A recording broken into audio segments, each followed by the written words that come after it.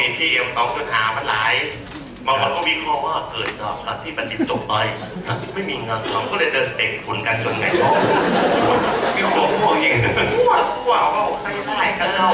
บางคนบอกว่าเหตุที่ฝุ่นเยอะเพราะว่าความรักมันมันกินความรักเพราะความรักมันกลายเป็นฝุ่นไปแล้ว สิ่งที่ข้อกันไปนี่ว่าหมอเนาะห้าอ้าวเรามาไล่ยุคหน่อยดีกว่าครับ ยุค 4.0 สกิดหมูตรง 4.0นี่แหละ1.0 คือยุคเกษตรกรรมขอบคุณมากขอบคุณอะไรพีเพจโพสเทสการศึกษาโดยเฉพาะต้องใช้ก่อน0อ๋อ2.0ก็คืออย่าเพิ่งตอบ2.0อ่า3.0อ่าโอเค4.0เออเดี๋ยวแต่ ทวนสักนิดหนึ่งก็แล้วกันนะฮะ1.0ก็คือยุคเกษตรกรรมทำไร่ทำนา ปัจจุบันยังมีอยู่ไหมอ๋อ1.0ยังมีอยู่ไปเลยเนาะเอาอย่างนี้นะเนาะสองจุดศูนย์คือยุคอุตสาหกรรมเบาอุตสาหกรรมเบายกตัวอย่างง่ายๆให้เราเห็นภาพชัดก็คือพวกทำสำลีพวกอะไรอย่างงี้นะยางต้นใส่ก่อนใส่ผ้าห่มนะ ลงมาให้ตีเข้าดังไม่น่าเชื่อถือเลยนะอุตสาหกรรมเบาก็คือร้านหมูกระทะร้านหมูกระทะเป็นตัวอย่างอุตสาหกรรมเบาที่ชัดเจนที่สุดยังไงครับบางร้านเปิดพัดลมใหญ่ๆไม่ได้ เพราะว่าหมูบางมากเดี๋ยวไปดูได้เลยไม่ใช่บางรายใช่ไหมอะไรกำไรบางแล้วหาอีกหมอเด็นี่กก็กได้ระแสนะอุตสาหกรรมเบาคือกระเป๋าหนังรองเท้าหนังแฟนแท้เสื้อผ้าเสื้อผ้าแข่งเอาสามจุดศูนย์ก็คืออุตสาหกรรมหนักยังไงครับเหล็กร ถถังเจ๊รถถังที่ปทุมธานี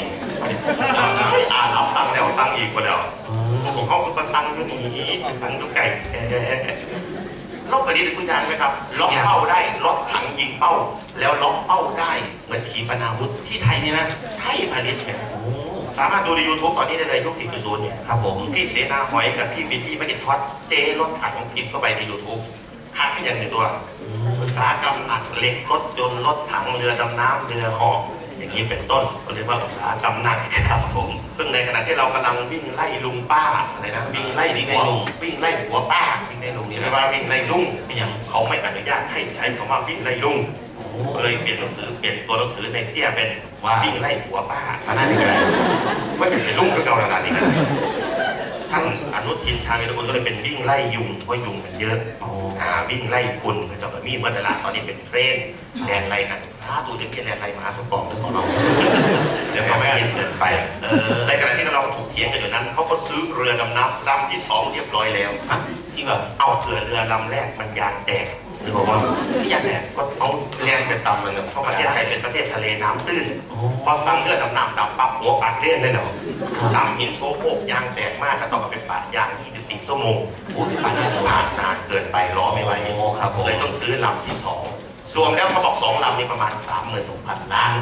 ก็ถือว่าเป็นการซื้อกระตันยูยังไงครับคือมาหาพ่อหาแม่กัน